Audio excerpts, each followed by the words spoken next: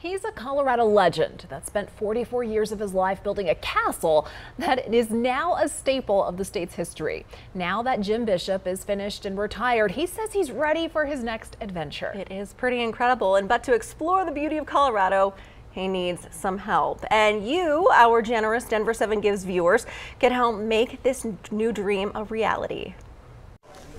At the age of 79, Jim Bishop is ready to go on an adventure. That's because he dedicated most of his adult life building this piece of Colorado history.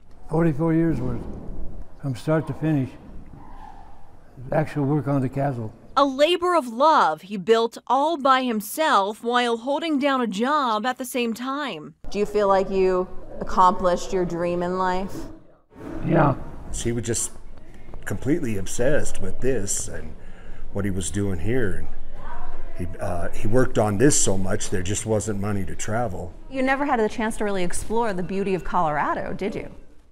No time and no money. Now that Jim has the time, oh, you got one of Jim smiling. He wants to spend the rest of his years exploring our beautiful state he never got to see while building his castle. There's just one problem. I'm kind of feeble.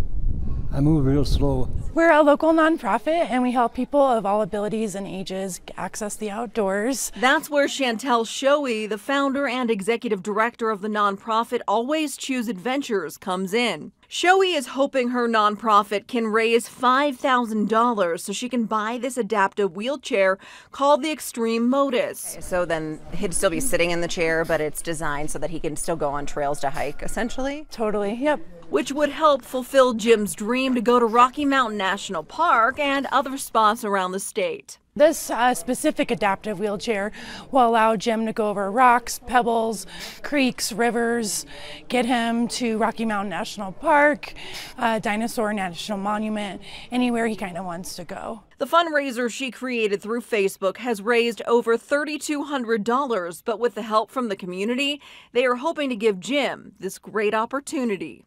That's very important because I haven't been in places before. Uh, he is so deserving of it. All the hard work he put in on that castle Talk over the years. About a labor of love. Now it's time to help him have another dream. Yeah, his dream to pursue and see Rocky Mountain National Park. And if you would like to give, give to uh, the fund, head to denver7.com and click on the Denver 7 Give section of our homepage. You can then click on the Donate Now button and in the drop-down menu, select the Help Jim Bishop Get an Adaptive Wheelchair option.